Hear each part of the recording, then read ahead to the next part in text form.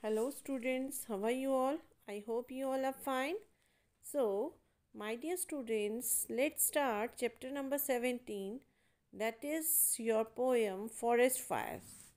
It is written by Martel Barber Carpenter. Okay? Now, let's start the poem. Someone dropped a burning match unheaded by the way. It caught on fire some underbrush.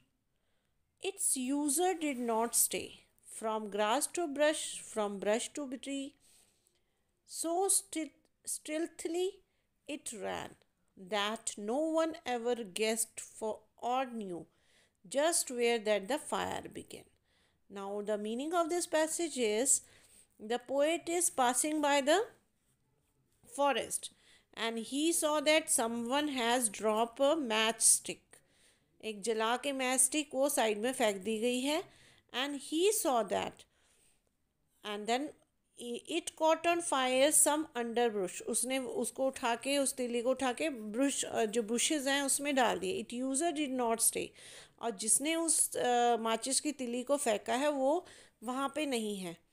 और वो माचिस की तिली, जली हुई माचिस की तिली जो उसने ऐसे फेंकी है बुझा करके, उससे क्या हुई है?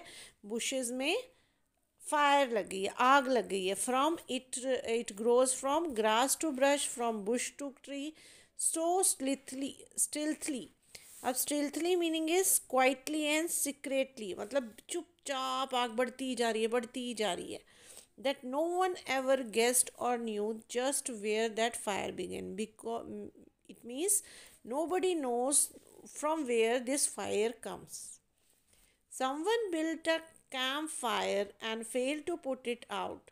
A breeze came and quickened the embers spread out.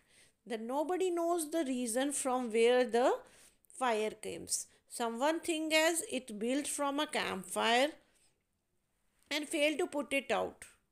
उसको बुझाना भूल गए a breeze came and quicken may be हवा के through I the embers embers क्या है live leave pieces of coal और वुड ठीक है it Kemps from would they all are गेसिंग the fire comes from एम्बर्स camp Fyers and soon the woods were blazing for what happened after the uh, after coming the fire all the woods were blazing blazing means bursting to flame means आग से जलने लगे the fire spread and spread the trees that look long years to grow Jin trees को बहुत लंबा लंबे साल लग गए बहुत ज़्यादा साल लग गए ग्रो करने में now they stand black and now and dead black हो गए हैं वो and now they are dead someone so little fire as he was passing by he did not stop to put it out he did not even try.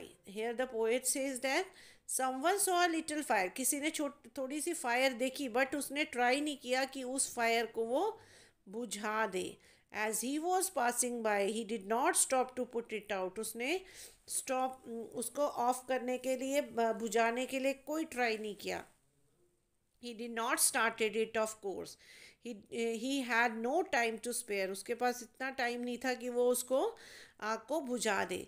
That it might start a forest fire he did not even care means उसने care नहीं की that's why the fire forest like anything so, our poem has completed here. This poem is related to the carelessness carelessness of people. Unawareness of the people. Okay? So, we should always aware. If anything will be happen like this with you you should take care. अगर आप कहीं पे भी हो, ऐसा आपको लग रहा है कि किसी ने कोई चीज़ बिना बुझाए ऐसे ही फेंक दी है तो you should take care you should उसको ऑफ़ करो, ठीक है? उसको बुझाओ, बुझा के फिर साइड में जो भी आपके डस्टबिन रखा है, कुछ रखा है, उसमें you can throw it you should be aware ठीक है you should not uh, show the unawareness. So, my dear students, our poem has completed here. Thank you. Have a nice day.